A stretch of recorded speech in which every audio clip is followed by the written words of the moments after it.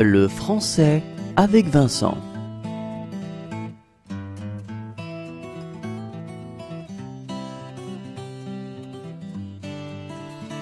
Un gardien de but. Un gardien de but. Un gardien de but.